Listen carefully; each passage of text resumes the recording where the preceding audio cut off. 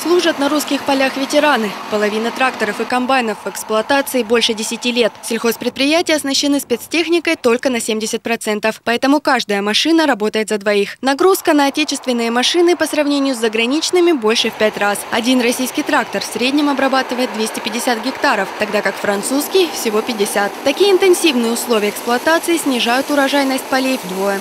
Если из-за сельхозтехники состояние ее физического износа или морально устаревшего состояния. Мы уборку урожая будем проводить не в течение 10 суток, а в течение 30 суток, то потери доходят до 50%. То есть начинаем уборку урожая, у нас прогноз урожая 25 центнеров с гектара, а завершаем, бывает 15, а то и 12 центнеров с гектара.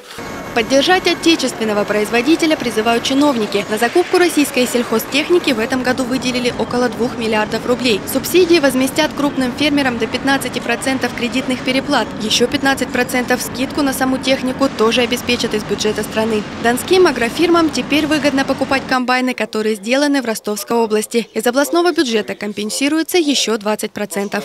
За 4 года это позволило приобрести нашим сельхозаграриям 888 комбайнов, порядка 90 тракторов и более тысячи единиц другой техники у различных производителей на территории региона. Официальной информации о количестве самоходной техники на полях нет. Последняя перепись зерноуборочных машин проводилась 8 лет назад. Министерство промышленности и торговли предложило пересчитать технику на ходу и поставить ее на учет в госавтоинспекции. В соответствии со стратегией развития сельхозмашиностроения к 2020 году парк сельхозтехники должен составить не менее 600 тысяч тракторов и более 140 тысяч комбайнов. Между тем объемы производства и темпы обновления парка пока еще недостаточны.